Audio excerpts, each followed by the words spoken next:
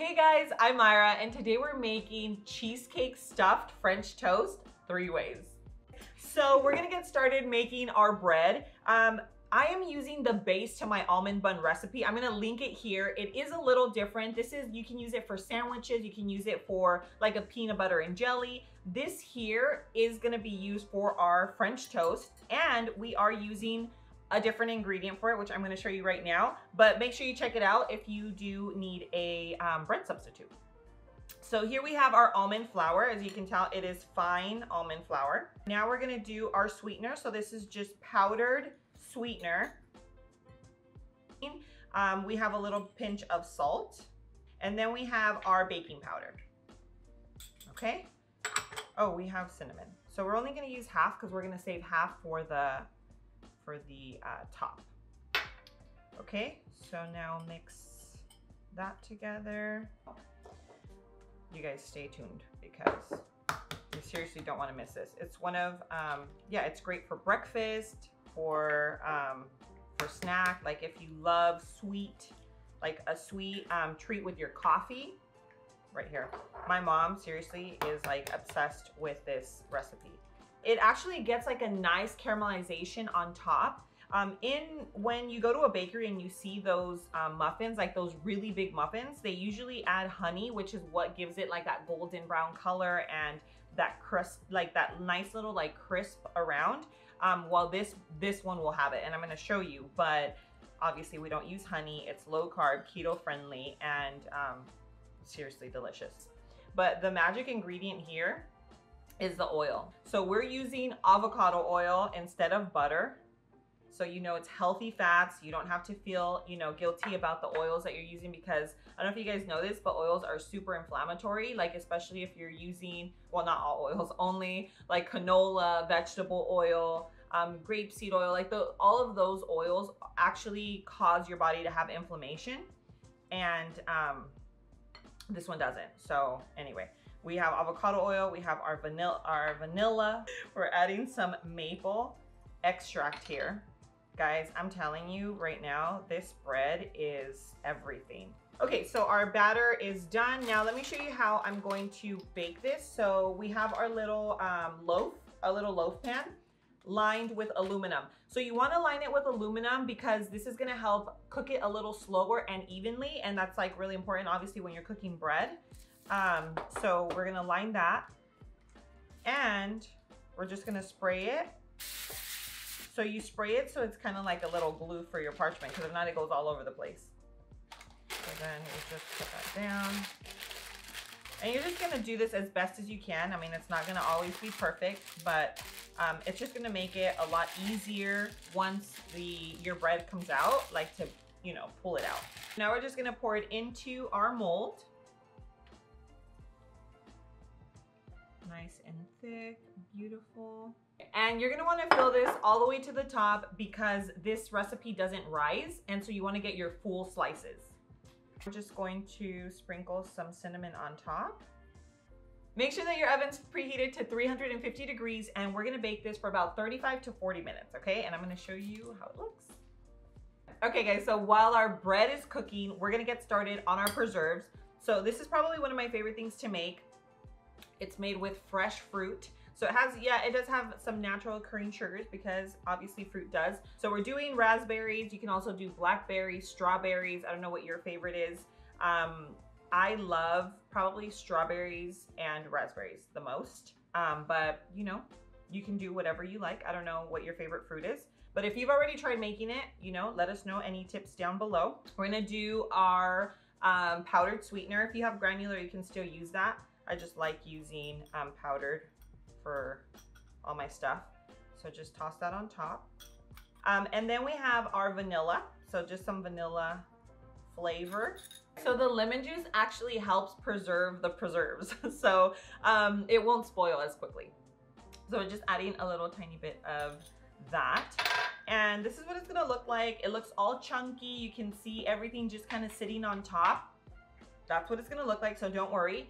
You put it on your stove top. So let's go move over to the stove and you're gonna see the process. It's actually really awesome. It's like you don't have to do much to it and this is delicious. so much better. It tastes so much better than anything that you can buy at the store. I'm telling you right now. So we're gonna start with a medium low heat and we're just gonna let it boil. So now that it's boiling, we're gonna lower the heat and now we're just gonna let it simmer. And you do wanna stir consistently because you don't want it to get stuck onto your pot. So now we're just gonna set it aside and let it cool. We're gonna get started with our filling. It's really important for your ingredients to be room temperature. This is what the cream cheese should look like, okay? Let me show you. It's like, looks like brie cheese, like it's nice and softened. I actually just threw it in the microwave for a few seconds. Um, you don't want it to get too hot because then it gets kind of runny. Not runny, but you know what I mean, like super soft. So like this is perfect, just where it looks like a like a spreadable cheese. Now we're just gonna add in all of our ingredients. We have our vanilla flavor. Boom, boom, boom. We have our heavy cream. So we're adding lemon juice because cheesecake has lemon juice in it and we are trying to, the filling, it's mimicking like a cream cheese filling. So now that we have this mixed, we are going to toss in our sweetener. And remember, just powdered sweetener.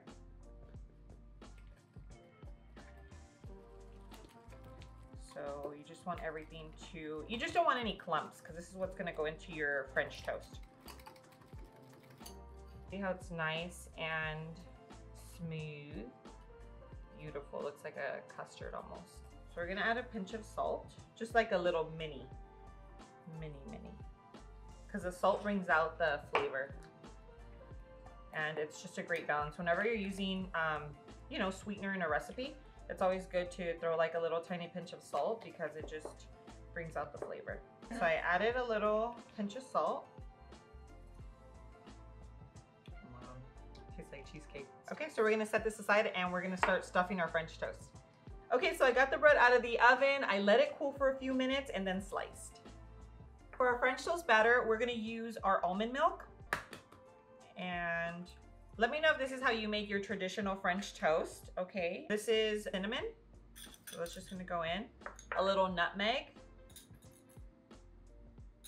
Okay and vanilla. So we always like to add vanilla because vanilla, especially with like baked goods, it just gives it a really good flavor.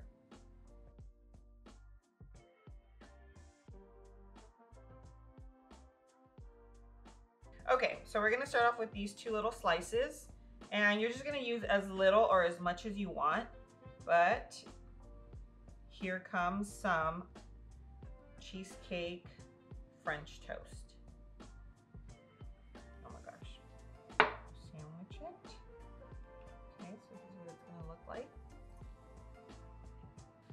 So we're just gonna finish filling these up and then I'm gonna show you how we actually cook them. Okay, so I have some extra strawberries here. We're gonna get real creative and make this a strawberry cheesecake French toast. So actually just laying out our strawberries on here. Look at that, so. And we're gonna do just a real thin layer on this side so that it kind of um, sticks, you know, a little thin layer. Put it on here. Wow, looks so good. Okay, and for the last one, we're gonna use some of our raspberry preserves. And we're just going to lay a little layer in here. Right in the center.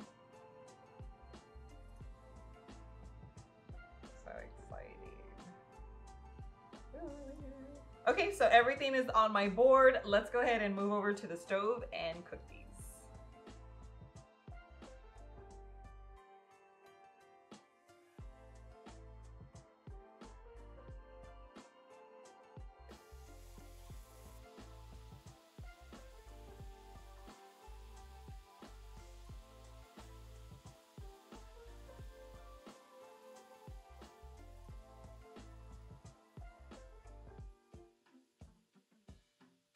Now for my favorite part of this entire video, we're about to do the taste test. So you know we ended up doing the, um, this has the fresh strawberries. This one over here is the one that has the berry, the raspberry preserves. We're just, I already cut this one, so we're just gonna do the taste test on this one with the fresh strawberries.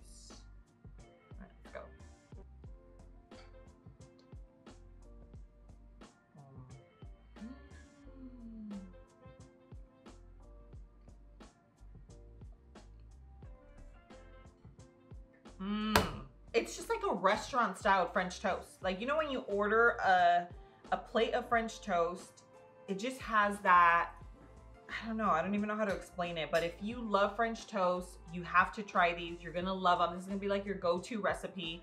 Um, I haven't tried the others yet, but this one that has the fresh fruit in there really hit the spot. It's like, I don't know, it's just like the combination of everything was perfect. Um, I did use the ChocZero maple syrup. It's nice and thick. I love it. Even if you're not keto, it's a great alternative to regular um, syrup because there's no sugar added. It has like one net carb per serving. So I'll leave it linked down in the description below. Low Carb Love at checkout gets you 10%. So I'll link that for you guys. But any one of these that you decide to make, you are going to be obsessed.